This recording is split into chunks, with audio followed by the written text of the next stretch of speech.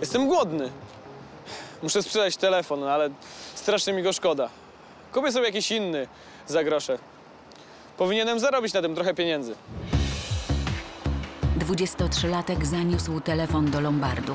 Nie dostał tyle pieniędzy, na ile liczył, jednak zdołał zrobić zakupy. W pracy coraz lepiej dogaduje się z Anią. Wow, ho, ho. Chyba masz coś do zrobienia. co tu się stało? No niestety świeżak sprząta. Bierz szmatę i szoruj. Wiesz co? Hmm, Nie mam w tym wprawy.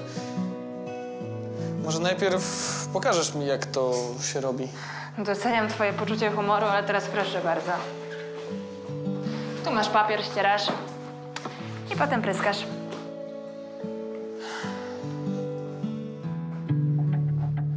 Patrz, zbiera żygi z podłogi. Bawicie to? Idźcie stąd. Kamil, weź zostaw to. Zostaw. Ej, strzelić cię tym po pysku? Weź się wyluzuj. Bawicie to? No dobra, już nie napinaj się. Patrz, jak jestem grzeczny. Chowam telefon. Ty, a powiedz, a w salonie tutaj to podcinacie pieską sierść, jak mają za długą, nie? No i co z tego? A podetniesz mi włosy na tyłku?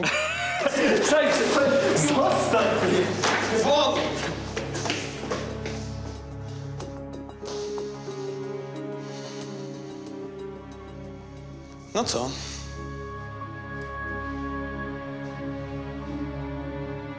Nie wierzyłem, jak Ania powiedziała mi, że Mateusz tu pracuje.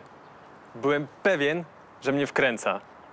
Marudził, że nie ma kasy, ale salon dla psów. I jeszcze się dziwi, że nas to śmieszy. Debile. Co w tym zabawnego? Przecież muszę pracować. Nie jestem tu dla własnej przyjemności. Teraz widzę, że wszyscy moi kumple to porażka.